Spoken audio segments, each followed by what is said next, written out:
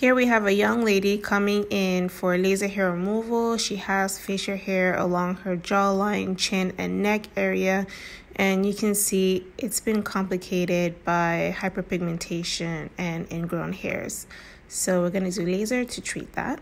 Since the facial hair is the primary cause of the hyperpigmentation for her, it's important to get rid of the hair first and then we will tackle the hyperpigmentation with skincare products and potentially a chemical peel as well.